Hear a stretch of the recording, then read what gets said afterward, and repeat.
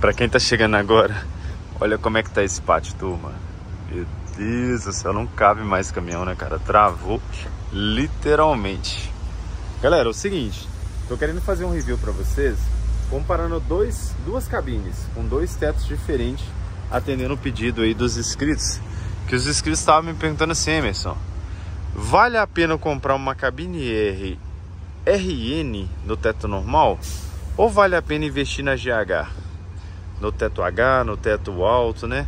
Será que tem muita diferença entre ambas? Vou aproveitar esse esse perfil aqui, ó, RN versus GH, para a gente poder comparar a cabine independente da potência do motor, tá bom? Eu acho que vocês vão curtir. Coloca no comentário se vocês querem ver outros comparativos aí, porque a cabine GH ela tem uma uma entrada muito boa nas vendas aí, ó. E dá para montar defletores, dá para montar defletor lateral, dá para montar outros perfis aí, tá bom? Tranquilo? A Scania hoje, galera, no sistema modular, aplica-se quatro cabines. A cabine P, que é a cabine de entrada, conhecida como Pzinho. A cabine G, que é a cabine né, acima da P. A cabine R e a cabine S. Então são quatro versões de cabine para diversos tipos de motores no sistema modular. Tranquilo? Então, vou mostrar para vocês a G, que a G no teto alto funciona da seguinte forma, ó. Consegue ver as diferenças na grade aqui, ó, inicialmente, ó. A cabine G, você começa a contar debaixo da palavra da Scania aqui, ó, ela tem dois filetes, ó. E ela tem uma dimensão um pouco maior, mas só tem dois, ó. A cabine R, você percebe a diferença, ó. Foca nessa região aqui, ó. Vendo a diferença? Ela já começa a ter três, ó. Três filetes aqui. E a palavra da Scania, ela tá mais elevada, ó. Ou seja, é uma cabine que a proporção dela é mais alta, a posição de pilotagem dela é mais alto, ergonomicamente falando. Então tem essas diferenças. Esses, esses, opcionais de luz do teto, luz da grade, isso é opção. Retrovisor, isso você pode ficar tranquilo que isso é opção. Farol, isso é opcional. Vamos entrar aqui no interior dessa cabine GH. Começando aqui a diferença, ó. Pelo túnel do motor, aplicação, né? Tá vendo o túnel aqui, ó? Então a cabine G, ela tem três níveis para você subir, porém o túnel do motor é um pouco mais considerado. A diferença dela, como né, vantagem positiva, é pelo fato dela estar tá com o teto H. E o teto H, né? Logicamente que antes de eu subir aqui, ó. Aqui, ó.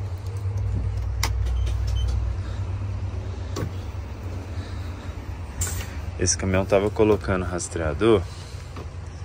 E a turma do rastreador deixou aqui. E um pouquinho que ele deixou esse carro aberto para poder trabalhar, olha a poeira, cara. Meu Deus do céu. Então aqui, ó. Atenção, veículo bloqueado, bloqueio independe do motorista. Eita, nós, tá bloqueado ainda. Turma, que, olha que legal, não consigo dar partida. Turma, é o seguinte, é, vamos lá, independente se a gente vai conseguir ligar ele ou não. A posição de pilotagem, que é o que eu quero mostrar para vocês, ela não incomoda, tá vendo aqui, ó? Ela tem esse esse túnel do motor. A cabine P ela é um pouquinho mais elevada do túnel do motor, mas a cabine G, ergonomicamente falando, tá vendo a visão do motorista? Ó? Tô deixando o telefone na altura dos meus olhos aqui para vocês verem. Ó. É uma cabine um pouquinho mais baixa, mas ergonomicamente falando, ela é muito legal. Não é uma cabine que bloqueio. não é uma cabine que, que deixa a desejar não. Aqui, ó, geralmente, aqui para poder você se movimentar, ó, tem o túnel do motor. A grande, grande vantagem é o teto. O teto sendo alto na G, tá vendo aqui, ó? Eu com 1,80m, eu praticamente eu raspo a cabeça aqui, mas não bato a cabeça. Eu com 1,80m, cara. Eu acho que a grande vantagem é maleiros, né? Os maleiros aí, eles são, eles são bem espelhados, é bem parecido com a R. Então tem uma vantagem aí de você guardar itens, né? Lógico que debaixo da cama aqui vocês conseguem também guardar os seus itens, não tem nenhum problema, é só levantar a cama que você tem aqui a, a parte da geladeira e você tem dois portos-objetos bem grandes. Então isso não é, não é um empecilho não. A questão de acessórios, isso aí, vocês conseguem vocês conseguem modular. Então é bem tranquilo isso aí. Tá vendo a diferença? fica uma diferença bem visível aqui. Vamos passar para R para a gente poder para a gente poder trocar uma ideia e conversar um pouquinho sobre a R. Vamos lá.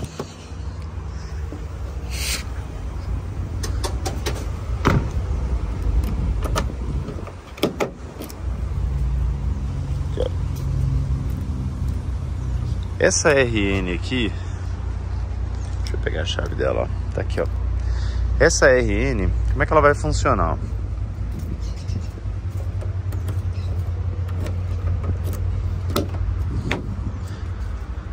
Ela tem três níveis também de elevação, só que você vê o espaçamento entre os degraus, né?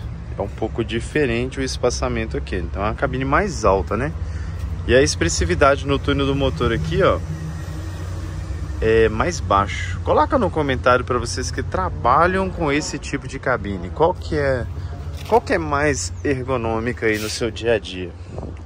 Tá vendo que o túnel do motor é mais baixo? Vou fazer a mesma coisa da G, ó. Aqui, ó. Vou tirar a chave. Deixa eu ligar o carro aqui, ó.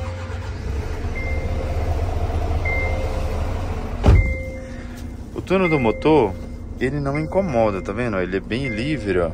Então, para viagens longas aí, né, você fica mais à vontade aqui.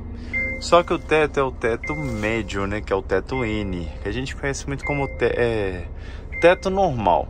Esse teto normal aqui, você não consegue guardar grandes quantidades de volumes, por exemplo.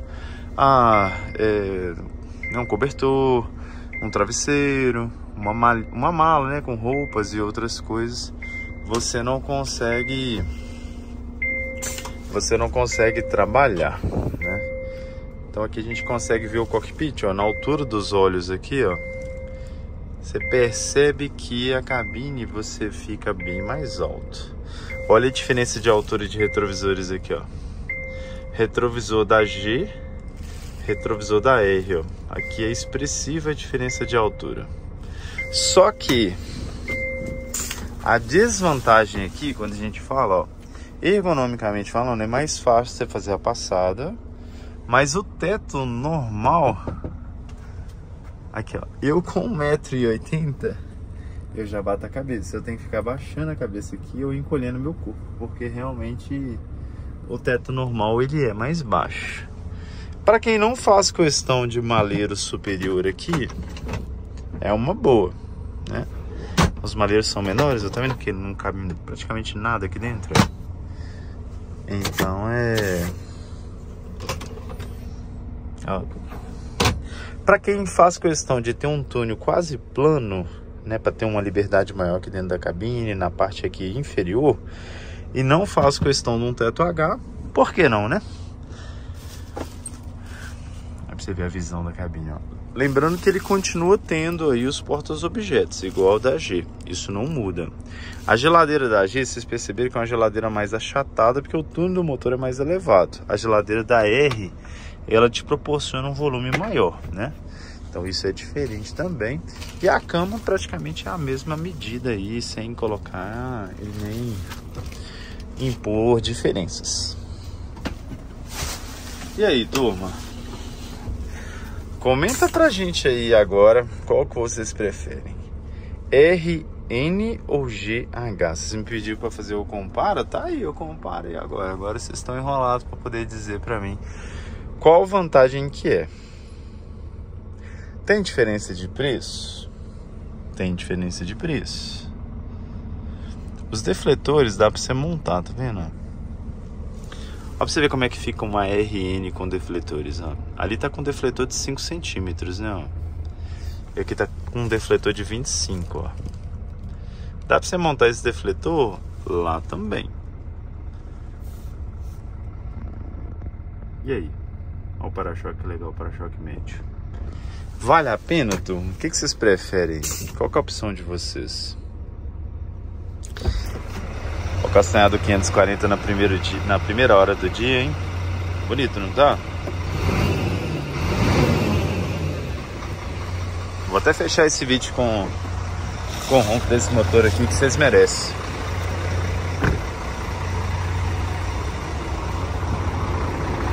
Tem gente que não prefere nenhuma das duas, né? Tem gente que já prefere a RH no teto alto e fim de conversa. Que a RH é diferenciada, ó, você ver. Ela é uma cabine mais elevada, que é a mesma cabine que a RN, porém com o teto alto. Aí eu com 1,80m eu coloco dois palmos praticamente acima da minha cabeça ainda, que ele dá um vão livre de 2,10, né? Turma, então é isso, ó. Compara bem rapidinho para vocês. RN versus GH. É um comparativo que eu acho que no Brasil não tem ainda no YouTube. Com tanto detalhe, com tanta simplicidade assim, ó. Lá tá com climatizador fábrica e aqui tá sem climatizador que é opcional. Dá para colocar assim ou não. E aí, turma? Vamos montar uma RN ou vamos montar uma GH e fim de conversa?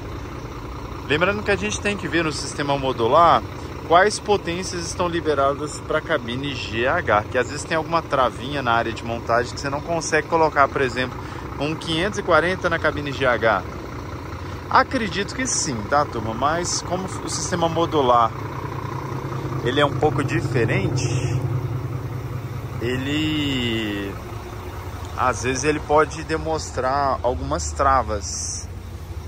Olha essa Gzinha que chegou aqui, turma. É uma G no 370, uma G no teto normal, né? A gente fala muito que é uma GN. Pra quem tem curiosidade, ó. Uma G no teto normal com os defletores, ó. E o para-choque elevado. Tá bonito, não tá? Dá pra montar assim também, ó. Então agora vocês sabem que são quatro cabines.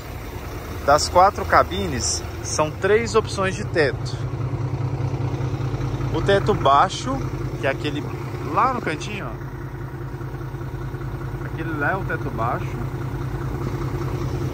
Teto baixo, teto normal e o teto H, que é o teto mais elevado. Dá a diferença aqui, ó, teto normal com teto H.